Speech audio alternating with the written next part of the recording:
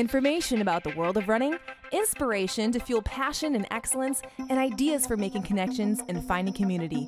You're listening to A to Z Running.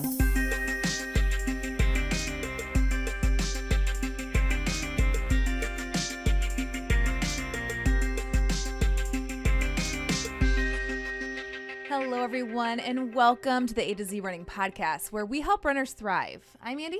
And I'm Zach, and in this episode, we've got a lot of great content for you, like outstanding results from U.S. Soil Marathon Project and more, as well as a discussion about why it is so hard to thrive mm-hmm. right now, mm-hmm. be it because of the holidays and specific contextual circumstances, or the fact that thriving is always hard. Yeah. And there's a lot of reasons that tend to come together during these times of year. Yeah, it's evergreen content. And of course, we are going to bring it full circle with great suggestions, insights from all and many of you to mm-hmm. help support the conversation. Yes. And first, please follow and subscribe if you want good stuff to your inbox, not just like advertisements. She basically just said that everything that isn't ours is not good. No, what I'm saying But is it's true. instead of having advertisements and things filling your inbox, why not get stuff that can help you?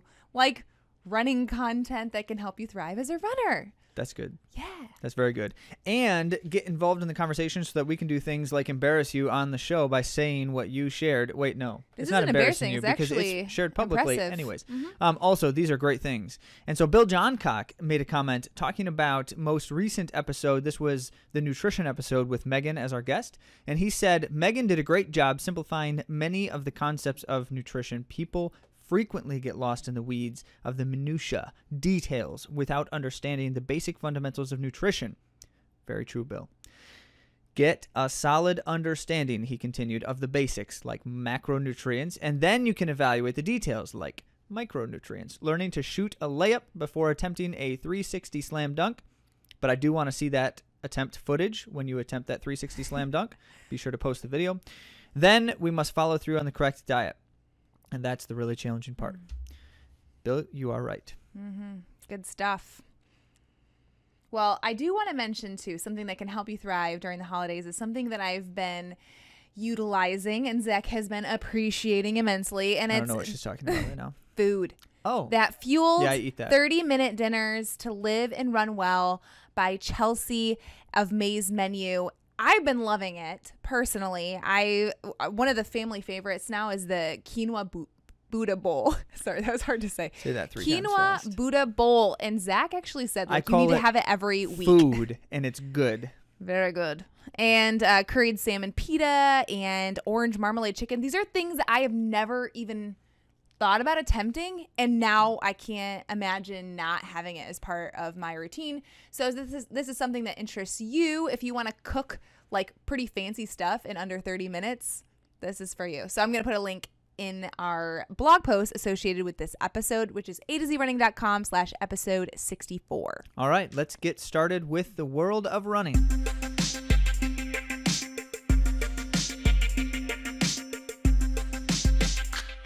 In the words of Aaron Laplander, one of our athletes, this week's world of running is lit.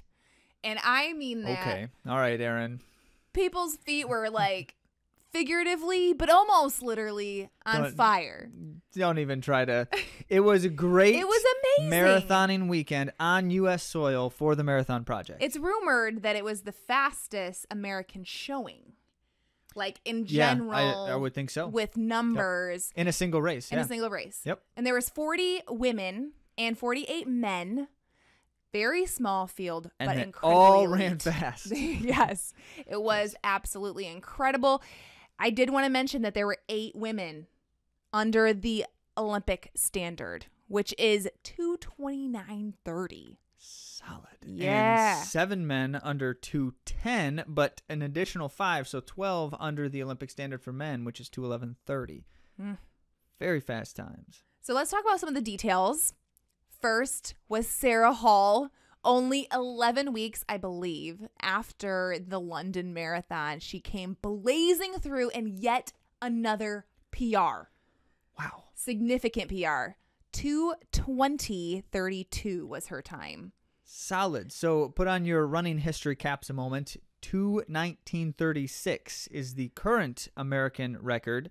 And just, that's just that's under a minute, and that's held by Deena Kastor, American marathoning legend. Mm-hmm.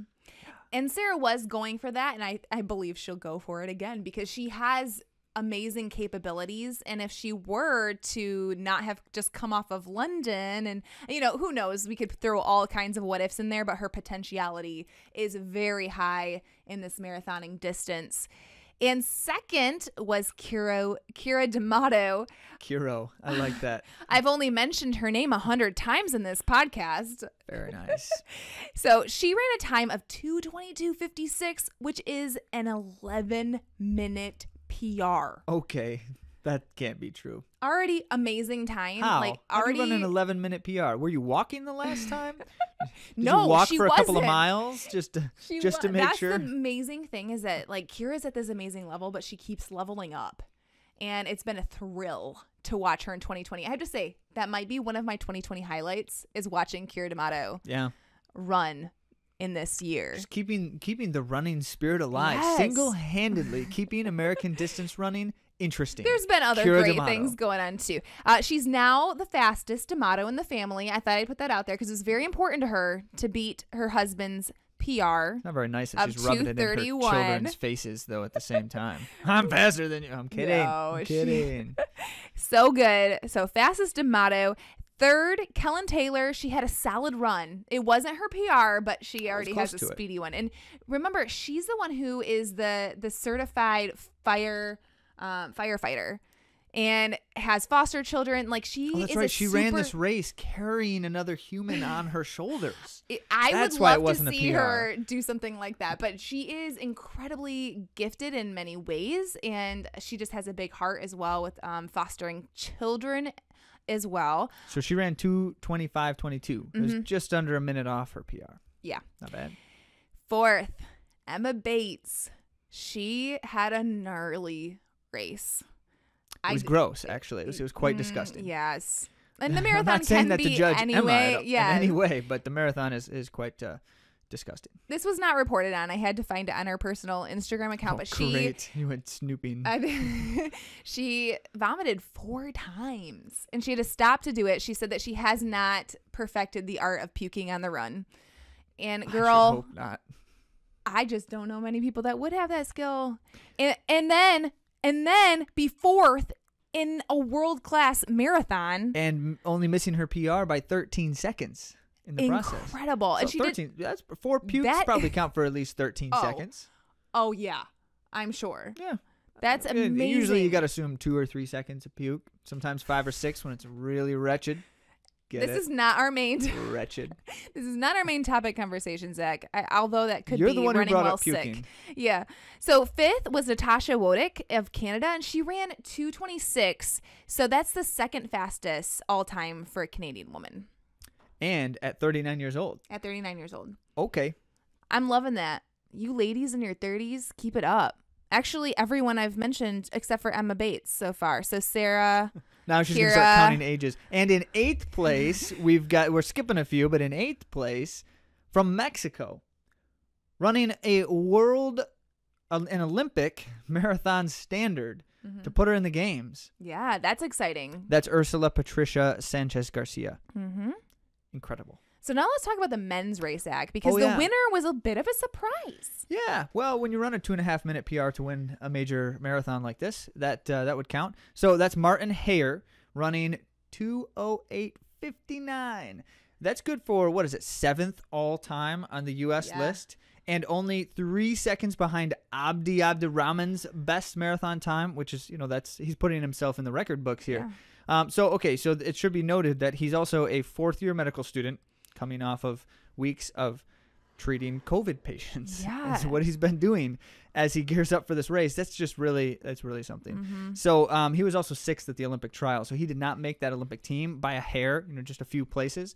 And clearly, he's got the grit. Seeing something like that, that's incredible. Yeah, I was really impressed. He has two daughters and a wife that were there cheering him on, and and he loves the He's got a story. She always goes to the backstory, and, and, and he he's has got a such a full life, you know, and and I really enjoy researching people like him and being excited for him as he pursues this as as part of his journey and obviously like he was six so he's not coming out of nowhere but everyone's really getting to know him now this really puts him in the mouths of runners and commentators everywhere Yes, definitely. So second place was also substantial.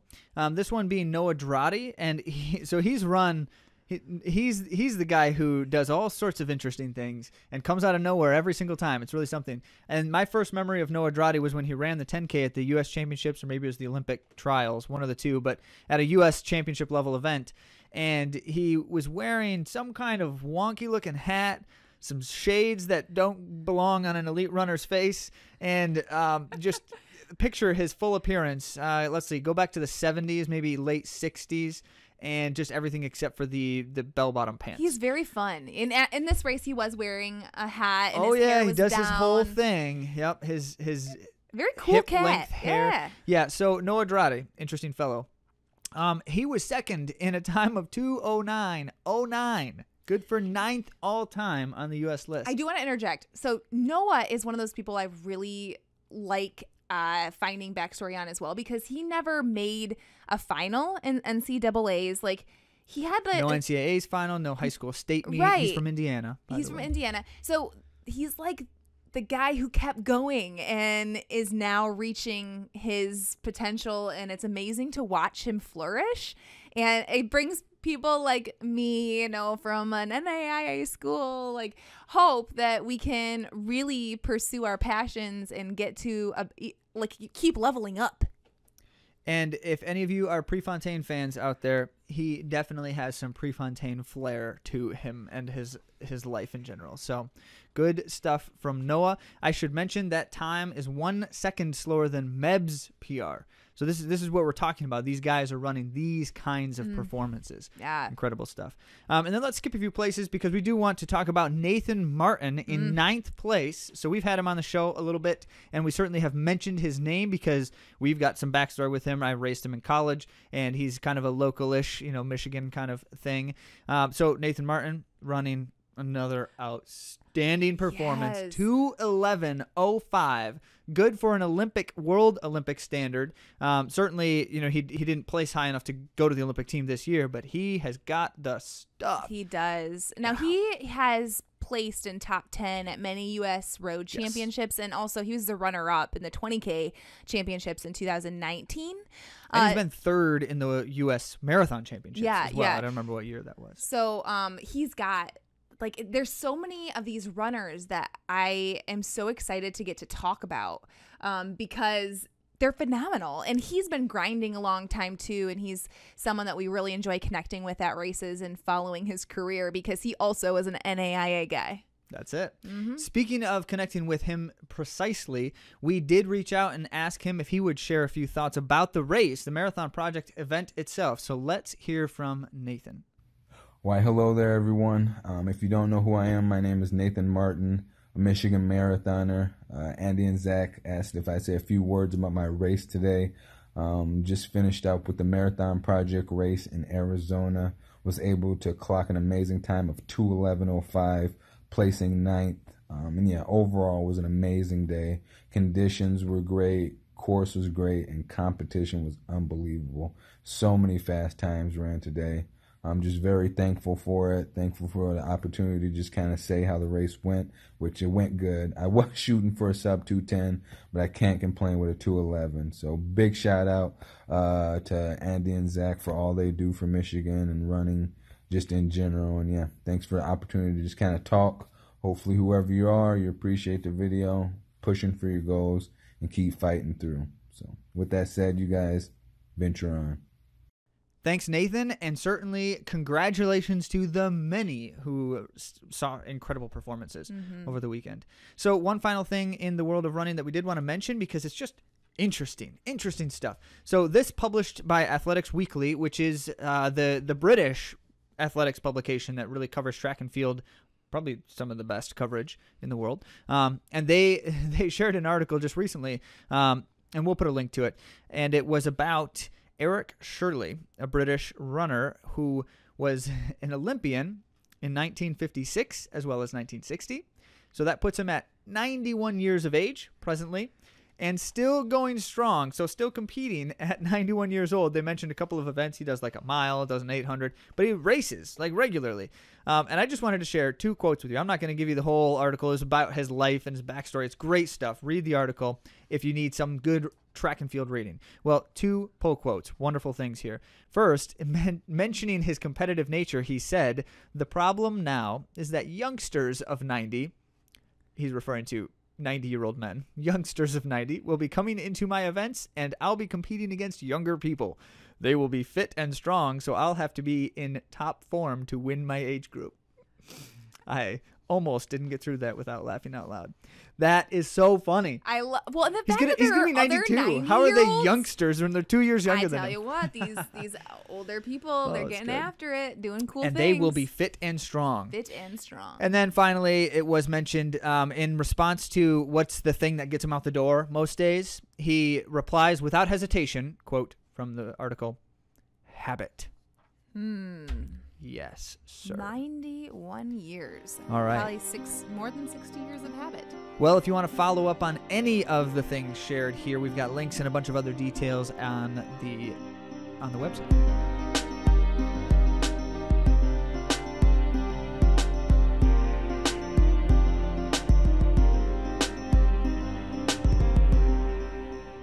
Right, so for our main topic in the show today, we did want to talk about the answer to this very important question, which is why is it hard to thrive right now? Now, fill in the blank with what right now means when you're listening to this. Certainly, if you are amongst the holidays, as many of us are as we're publishing this, that may be relevant. Uh, but we don't really want to spend this episode talking about the holidays specifically either. Also, there's COVID, but you know, uh, let me use a phrase here. Um, it is too much the ubiquitous shrug phrase. So we're not going to talk about COVID. Instead, we're going to talk about the kinds of things that always make it hard to thrive. And it just so happens that they are accentuated by other life circumstances, whatever those may be. But when we talk about thriving and how running can be a positive contribution to our lives, a lot can get in the way. A lot. Such as deviating from the routine.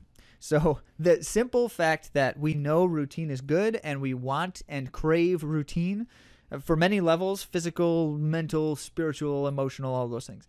Um, so, when we have to deviate from routine or when we choose to, one or the other, in any situation, that can be problematic for us. Yeah. And there's those of us who really struggle with not wanting a routine to be free of routine. Your body hates it when you. Exactly. I'm, I'm kidding. But there is a tension there for me Yes. personally because I like to be able to do what I want to do when I want to do it. wow, I sound like my two year old. Andi struggles with the concept of like I'm gonna run at 10 o'clock every day, kind of thing, because something else might be happening at 10 o'clock. So I I've mentioned before like in my work like I'm a gig worker. So I will have different schedule. Like sometime I'll be working all day, sometimes I'll be working in the evening. So I don't have a set routine or something that's making me have a set routine. Now having children has helped with that and having necessary times like this is the time I can run uh, is helpful to me. But there are some of us, probably fewer in the running community. I'm guessing that it's probably more of a rarity to to have a like a repulsion against routine. Um, but it, I feel better when I have a plan. And it happens more when I have a routine and a plan for what I'm going to do. Yeah, there's some lot there, there's a lot of good points to uh, structuring at least to some degree, and we've talked about that almost ad nauseum at times on the show. Um, and p- part of the reason why we talk about it so much is because you may be like others on air who, no matter how many times someone tells this person a routine is good, you should plan something, anything, plan anything, try it. It's good.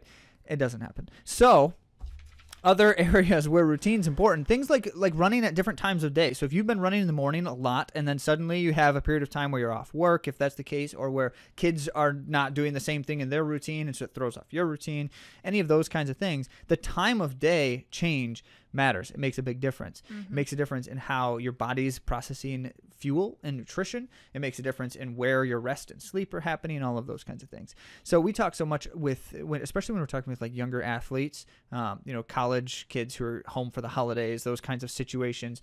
Um, and it's like, you know, the holidays are a period of time that just throw everything into the mixer and it's just like blend it all up and see what happens.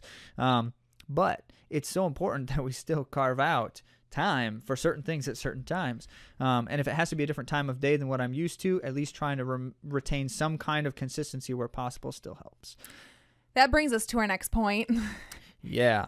Um, so being disciplined or undisciplined is one of the things that prevents us from thriving. Um, and discipline in any areas of our life can be difficult. But one of the worst parts about it is when I'm undisciplined in something and then I feel badly about it. Like I know I need to do something, I don't do it, and then I feel badly. And now I've got several problems that I've created for myself. So the answer here is not to live with no regret and guilt free. Oh. And no, the answer is not to say I won't feel badly about anything. Um, rather, to look at the areas of life that we have control over. You know, the things that I need to be disciplined about, so that I can make sure that I get the run in before it's nine o'clock at night. I'm like, do I really want to run at nine o'clock at night? Or you know, I need to make sure that I eat a good meal and a substantial enough amount of it so that I'm not trying to snack on the Doritos Cool Ranch flavor an hour later. Delicious. Maybe if they were just part of the meal, then I wouldn't snack on them so much Maybe. an hour or less later. So, speaking more of running, a good Oh, yeah. way is to track your progress. Now, I reached out to Corey Joyner because he has reached a lot of PRs this year and he does a good job tracking his progress. So, we're going to hear from Corey about how he does that. Happy holidays, Corey Joyner, also known as CJ the Runner. Thanks, Andi, for having me on. Just wanted to quickly touch on tracking progress. Uh, we're coming at the end of the year, and if you aren't tracking your progress, get on that now. I track mine with the Garmin watch using the app, the Garmin Connect app. I'm able to see all my runs, all my paces, all my PRs I set this year, all of the tough runs that happened this year. And you just go back and just see how far you've come. A lot of the workouts you repeat and you redo them, and you can just see and compare how much better you've gotten over the years. So make sure you go dive into that logbook, whether you write it down or whether you use the Garmin Connect app or whatever uh, tracking device that you may use, and use that to fuel you to go to the next level for those future uh, big wins for you. Take care. Thanks, Corey. Certainly some good tips, and I agree. I so with our athletes, the ones we coach, um, I have a section on just addressing the importance of training logs in some capacity. Now, those of you who are on Strava, you're like, "Oh, Strava's my training log," but it's cheating.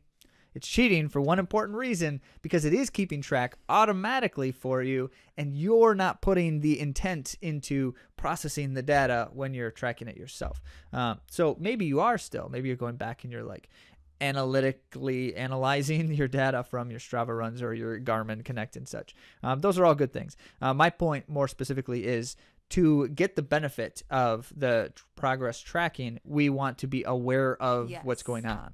And so I need to pay attention to those things, not just have it dump into the place and be like, oh, I'm, I'm using my training log Strava. Yeah. Good stuff. And we can also find out indicators for certain chronic problems that we have based on our training. Say, oh, every time I do a hill workout, I have a hamstring issue. Things like that that you can begin to address and then strengthen that hamstring so it doesn't happen anymore. Or stop running hills if they hurt you every time. Uh, that's so true. health and nutrition is, is one of those other areas that it's so easy to not be disciplined and then feel badly about it Hmm. literally physically feel badly Yeah. a lot of the time i ate way too many of those cookies Or while i was sitting there working on my enough. computer I mean, not I- enough of those cookies i should have eaten more cookies I'm talking about like not enough food in general because some of us go, go, go serving other people, like our children, or wrapping presents, or doing whatever that we don't fuel. Like I've I had two days this past week. I told you on this podcast you will get full Andi disclosure on some things. more than you bargained for And I like didn't eat lunch and I had runs around that time, which I know Megan last week in our podcast was saying that you want to fuel the most where you train the most. And I I just was taking care of other things and people. So Social media too needed a lot of care. so all that to say, nutrition can be something that we put to the side and like we during the holidays we're just like, "Oh yeah, I get this little snack over here, this special indulgent snack." But because I ate those calories, I'm not going to eat the good nutrition that I need mm. because those are also calories. So I'm exchanging one for the other. And it doesn't really work very well to do that. We end up feeling like crap. So go back and listen to Megan's episode last Yes, week where she was digging into these things and the details of nutrition and fueling. So that's the thing that always just drives me a little bit crazy with food is that um, it- it's a fueling principle. It's a matter of this machine needs certain kinds of fuel at certain times to function properly, um, and that's that's the thriving piece. The function properly, I can define that as to run well, but I can also just say, you know, to be healthy. That's function properly. Um, and so, in order to do that, I really do want to try to be disciplined with these things. Um, and that doesn't necessarily mean that you can't enjoy the food that you're eating either. So this is why it's it's not a bad. Uh, it, we've got a good clip about this from one of you. Yes. So Chelsea of May's Menu, which we mentioned earlier, she's the author of the cookbook. So she's very good at balancing Making the great food. making great food, but she also understands that it's fuel as well as made to be satisfactory for us. It's important to eat for fuel as well as satisfaction during the holidays. When we eat for fuel, we're able to energize ourselves and get through all the obligations, um, busyness, and stress. We also can still have the energy to tackle our workouts, which can help us to feel more grounded, healthy, productive, manage our stress through the holidays as well.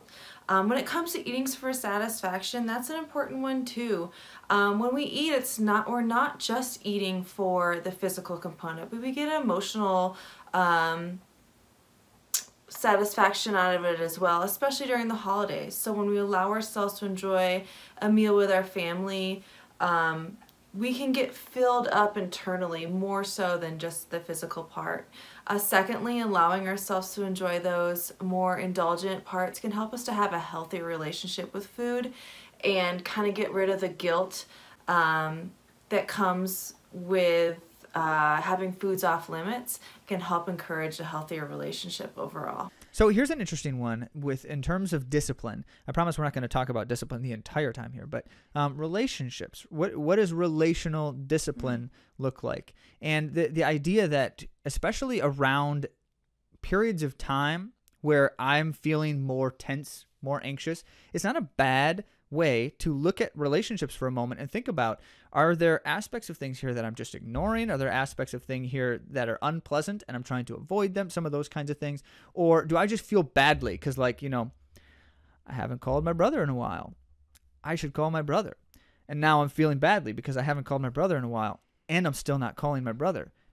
And that doesn't help. So that whole concept of, you know, it, we we see this all the time. When when I get the the feeling of like, yeah, I should maybe I should do this thing. Usually that's a good sign to say I should probably do it Good point. sooner than later. That's a really good point. And now during the holidays too, sometimes we think that our family, and not just the holidays, I'm sorry, I, I said that again, but this is all the time for me. I assume that Zach knows what I'm thinking and that he can meet the needs that I want him to. So I he's gonna go and clean the bathroom and he's gonna see it and just do it. And Well- he's he might not see it. He's looking at something else. And and really literally like we're very different people. Every single person is going to see different things that need to be done. And a lot of us lack in communication because we think that people can read our minds deep down. Well, I can. I just don't want you to know that. That's why I Oh, pretend super- like I oh, don't know what you're thinking. Gotcha, because that would be really creepy. It's very important. keep, keep up pretenses. So the point here is there's there's relationship tension and dissonance in so many different ways, and those things tend to be obstacles to thriving. And mm-hmm. you know, I can like I'm running and I feel fine running, but life is is kind of not stable. So the communication point is a really valuable place to start with that. And Whitney of the Mother Runners made it really practical. And she shared with us in this next clip about it helping with the actual schedule to be a better communicator. Here's Whitney. Hi, it is the most wonderful and the most stressful time of year. And what is so important in combating stress is, of course, exercising. Yet, that is typically the first thing to go because we feel like everything else is more important, but being healthy and happy is way more important than anything else because if mama ain't happy, nobody else is happy. And I have found that probably the hardest yet the most effective way to ensure you get your run time in is to speak up. Tell your partner, tell your family that you plan to go running, when you plan to go running, how long it's going to take, and don't feel guilty about it because you deserve it. You do so much for everybody else, and all you are asking for is an hour of me time to feel good about yourself and feel productive, and that will just have momentum that carries you through the rest of the day. So, good luck and happy holidays. So how about the the classic situation where relationship wise things aren't great and I know it and this other person over here knows it and no one's doing anything about it.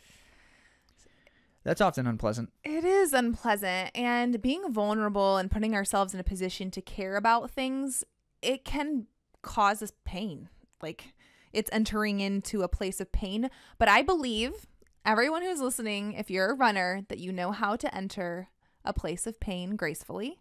Oh, I see what you did there. Yeah. She just put a charge on your shoulders. Did I? You know how to make it hurt. So get out there and get tough. Well, I'm saying that it does take a lot of endurance and understanding that going through the pain is part of the process to end in victory. And I know I'm using really like She just keeps doing fancy She- oh, language, but I do think it's really important. And it's probably with some of the most important stuff of life to be able to go through these patches with people that we love and come on the other side um, in a better place than we were before. So that that kind of situation is the exactly like in the workout when you know you need it because it's going to make you better, but it doesn't feel good doing it. And that being the case, a lot of times these things are interconnected. And so you'll notice even at times with especially on the run, um, the physical sense that you get while you're running is affected by these disharmonies and these dissonances and such. So when you hear us talking about this and you're like, you running people, what do you know about relationships? And the answer is very little, in fact. Uh, but we're still going to talk about how these things do matter in this way. So that being the case, let's do one more as far as relationships are concerned, which is this idea of just feeling like I can't fully be authentic and and myself in situations, um, whether because there's tension or because uh, I'm concerned that I need to act a certain way so that this person over here is happy with the situation. Um, all of that, like how I have to pretend that I can't read Andi's mind so that she'll be happy with. Wait, no. If she knew I could read her mind, she might be happier. Now I'm all confused. Maybe I know because I can. This is read the problem with living a lie. It's just so hard to keep it up. So there's there, there's a lot of importance behind what can I do in a situation when I you know I need to just be able to authenticate the dynamics there. Mm-hmm. So, one way is to give, and I'm going to start with encouragement. So, or give your ear, give your listening ear instead of this self centric thing that many of us have going on sometimes, especially these days. Are you pointing at yourself for a reason, or was that just subliminal? No. I'm just. sometimes I focus on myself and how I come across instead of listening when someone has something to say. So, giving my ear, giving my empathy, giving encouragement and caring about what that other person is doing, like their passion projects, things that they're going through, their races. All of these things help us in relationship to create harmony. Even if there hasn't been disharmony before, it creates, uh, it, it reaches out and it makes a connection between you and that other person. connection. Speaking of which, then, so it's also not a bad idea to think about, um, you know, how I'm receiving from other people in different capacities too. And that was another one here that you had mentioned specifically, Andi. Mm-hmm. Receiving is very difficult for some of us because we are very self reliant in a lot of ways and we want to stay that way. We don't want to be a burden to other people. I'm a two on the Enneagram. And some of you, I, I know what that posted about. that. Yeah, That's it's right. okay. Essentially, I like to give help, but I'm very bad at asking for it. So being a receiver can mean actually asking for help, but it also can mean when it's offered to us or something is given to us, we can cherish it in love and not do one of these, but do one of the hands mm. open. I, those of you who are listening to the podcast, I, I did a handout She's and then an open hand, hand around and pretending like it's meaning something to those of you who can't see it.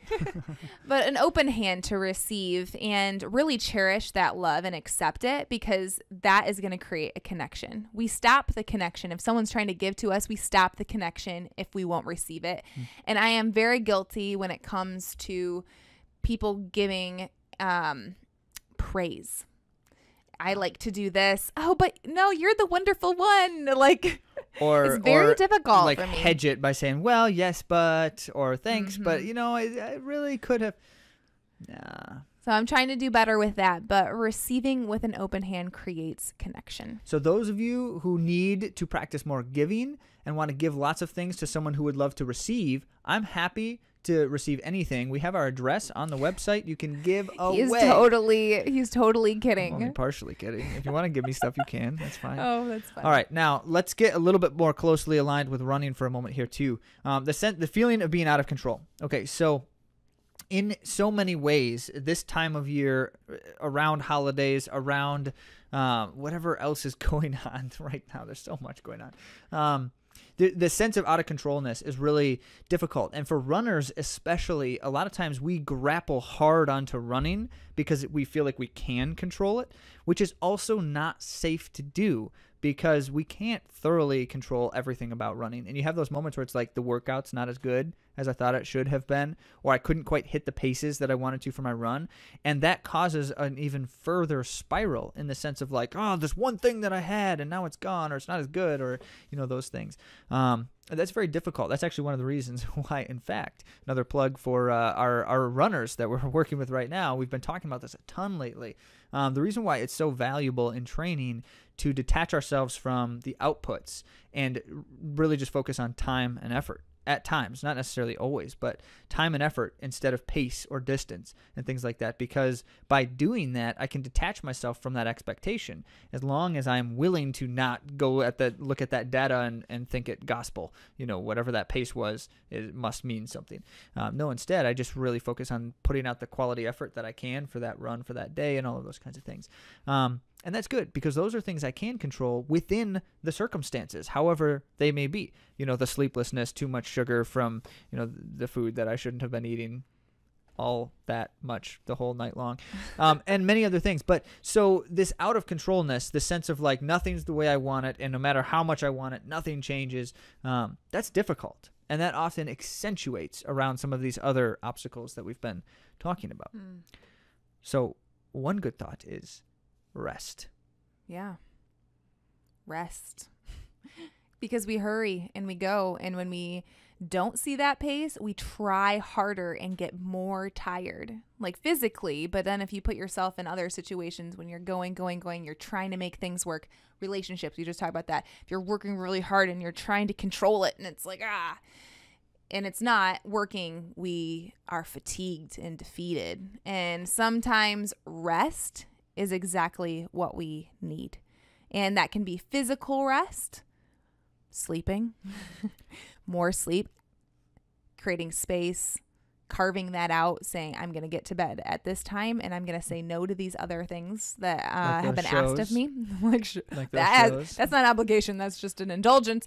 Um, but also, you know, there is also rest for the mind.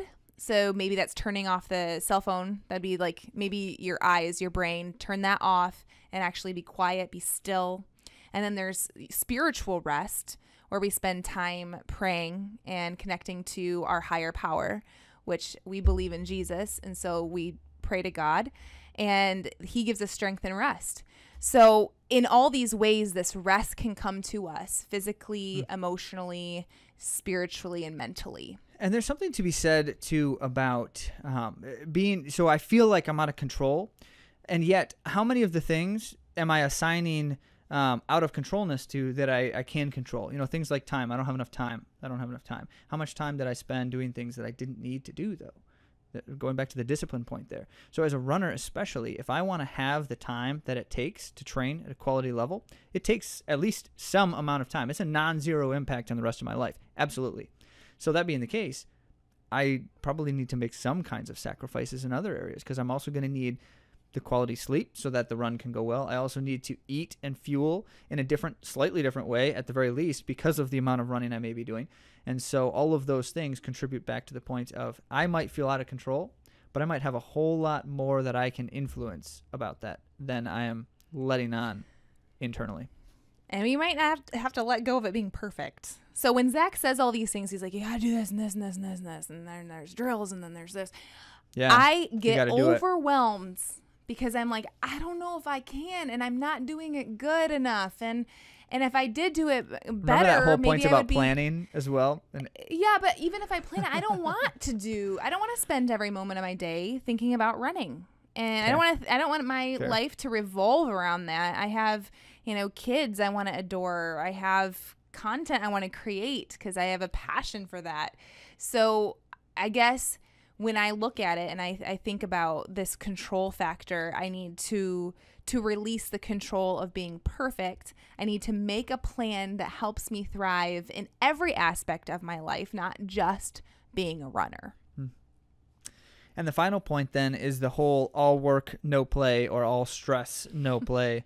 Um, so we mentioned the rest point earlier, but also we, we've got to enjoy the things that we're doing too. And one of the most important things about running during an otherwise tense time in life is that running needs to be enjoyable. When everything else, and I'm exaggerating, but when everything else is stress, when everything else is frustrating and difficult, running must be enjoyable. And I still uh, remain in the perspective that one of the easiest ways to make running enjoyable is to stop paying attention to your pace and just focus on enjoying a quality effort. If this is supposed to be an easy run, take it easy and love it. If Yeah. this is supposed to be a hard effort of some kind of workout, don't look at those paces because you ate three pieces of cake an hour ago and it's going to affect those paces.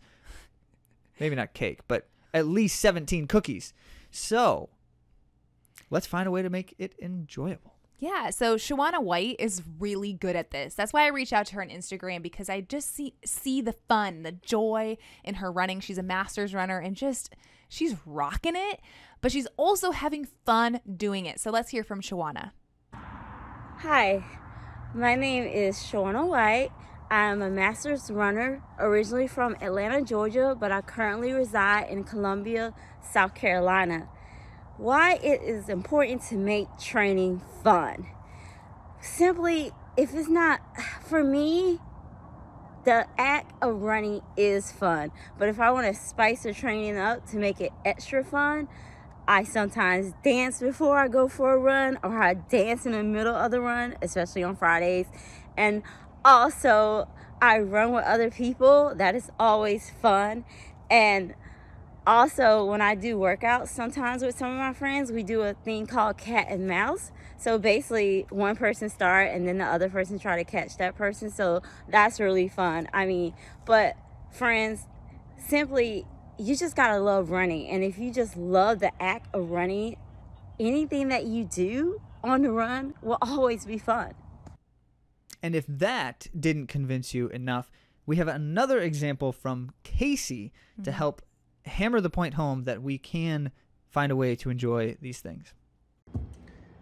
Hi, my name's Casey. I've been a runner for about 20 years, and I think one really big important foundation to running and just life in general is to smile and to be positive in what you're doing. It just helps those around you smile and be positive as well, and it helps combat negative thoughts um, with more positivity. So, the more times you can get more positivity out into the world, get more positivity into yourself, um, that's what a smile does. It's like that shield, it's your armor. It gets you through all those hard times and it really toughens you up and it toughens those up around you. So if you can smile, you can choose joy and you can spread that smile and you can spread that joy onto others, you're doing good in the world. Um, and that's where we're all starting, right? That's what we're all trying to do is do good in the world. So I hope you guys can all smile with me in 2020. Um, and on into 2021 and for many more years to come. So thanks so much. Have a good one. Bye. Thanks, Casey. Now we talked about like the science of smiling and that smiling can actually studied it. affect your mood and it can affect your performance. So not only are you giving feedback out, is it a giving thing to do? Like you can help others experience is some joy because when someone smiles at you, it does make you. I mean, oh yeah, you're like an introvert. there there are times where it's like, why are you smiling at me? Like, what's going on here? Let's. I did. This I is this awkward moment where it's like you're looking at me and you're smiling, and I don't know who you are. We did do this as part of a challenge for IGTV series, and I did smile like almost my entire 12 mile run, and it was a nice day out. And some people were like, "Do I know?" Like they didn't say it out loud, but they like looked at me like, They "Do I know you?" it. Uh, because I was smiling Andi at them, so I might have thinking. creeped some people out with my smiling at them, but I don't regret it, not a single bit. It because creeped me out. Every time I looked up during dinner, you were just smiling, even with a mouthful of food. I I didn't do that, but I would. It would be a bad practice just to it see would if be it a bad affected practice. my mood. Don't do that at dinner. Anyway, all that to say, thank you, Casey, because I do think that our choice to put a smile on our face can be both good for ourselves and for others. And thank you to everyone who helped in contributing to Mm-hmm. this conversation. And just thinking about there are so many things in our lives that connect back to our main goal here, which is to thrive. Mm-hmm. And certainly we want running to be a positive piece of that puzzle. And that's kind of what we're all about here. Uh, but it can't achieve its purpose if so much else is present that's dragging us down. And so that's why it's never a bad idea to take some time every now and then, just like this, and reflect on what are the things that are making it tough and what can I do to try to remedy that. Good stuff. Well, one of the obstacles that we didn't mention here today, we will do a full episode on, and it, that is uh, adverse conditions. Sometimes adverse conditions So could get in the, the way. weather can contribute to It can. Great. But if we have some handles, if we have some motivation, and some ice spikes we can thrive. embedded in our shoes. So we're going to be talking to Anna Dalton in a couple weeks. You'll want to stay tuned for that. So please do subscribe and rate and review while you're there. And as always, we appreciate comments, questions, all of those things so that we can get connected with you and so that we can share what you're thinking here as well. Find us at a to z running.com. There's a great contact page there to share some thoughts with us and on all the social media platforms. Until next time, everyone, Merry Christmas and Happy Holidays.